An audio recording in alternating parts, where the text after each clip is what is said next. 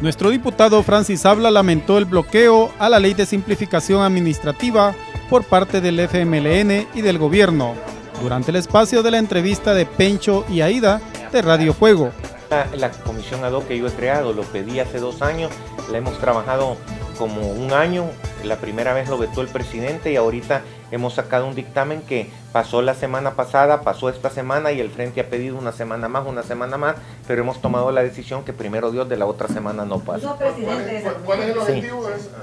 el objetivo de esa comisión no solo es en aduana, es simplificar todos los trámites que hay en el país. En Guatemala, en Honduras, eh, los negocios se van para los países eh, vecinos nuestros porque en Nicaragua para poner un negocio te dice, mira, instalalo y en el camino vamos sacando los permisos, si querés, por exagerar. Aquí tardás seis meses en un permiso medio ambiente, si querés hacer un edificio. Aquí tardás, eh, bueno, te voy a explicar lo más grave que ha habido aquí. Vino el señor representante de más de mil marcas para maquilas, mandaba la muestra para que tú cotizaras en cuánto ibas a hacer una camisa, la mandaba por DHL, venía en 24 horas para sacarla de aduana tardaba tres semanas. Y cuando, cuando la sacaban en tres semanas, ya Guatemala en tres días había mandado los costos y la muestra y ya estaba y, nos comieron el mandado.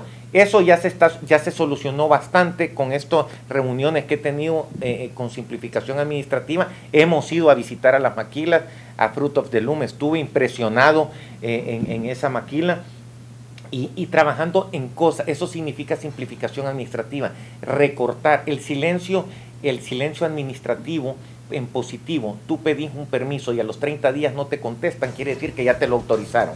¿Qué se busca eso? Ya no están acusando que ahí se va a hacer corrupción. No, se busca que seas eficiente, que si en 30 días tú no has dicho ni sí ni no, entonces que el permiso se da como positivo quiere decir que el funcionario puede decir que no o puede decir que sí, pero tiene 30 días. Si en 30 días el funcionario no es capaz de resolverte un problema, que busquen otro funcionario, porque el país está hundido.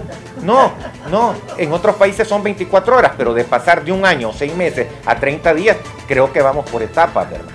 Para el informativo Gana, René Serrano.